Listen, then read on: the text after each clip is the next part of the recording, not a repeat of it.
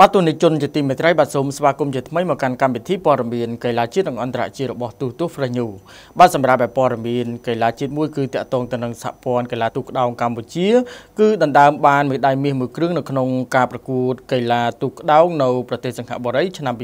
2019ដែលក្នុងនោះគឺមានអត្តពលិកមកពី3ប្រទេសចូលរួម។ តាមការប្រកាសរបស់សហព័ន្ធកីឡាទូកក្ដោងកម្ពុជាសម្រាប់ការប្រកួតកីឡាទូកក្ដោង Pesta Kusan Digi រដ្ឋការឆ្នាំ2019នៅប្រទេសសិង្ហបុរី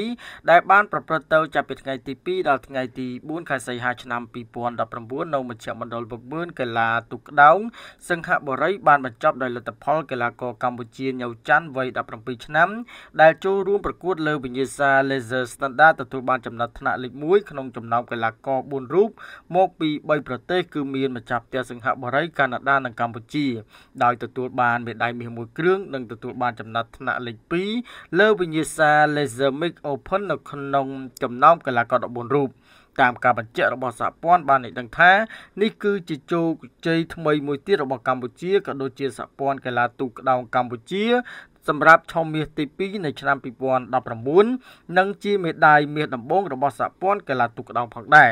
គូបញ្ជាក់ផងថាសម្រាប់សហព័ន្ធកីឡាទូកក្ដោងកម្ពុជាក៏នឹងត្រៀមបញ្ជូនកីឡាករលើវិញ្ញាសា Laser Boat ចំនួន2រូបទៅចូលរួមប្រខាត់នៅប្រទេសសិង្ហបុរី និងម៉ាឡេស៊ី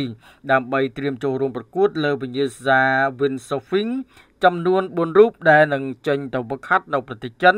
ពីដើមខែកញ្ញារហូតដល់ចុងខែវិច្ឆិកានៅក្នុងការត្រៀមប្រកួតកីឡាស៊ីហ្គេមនៅឆ្នាំ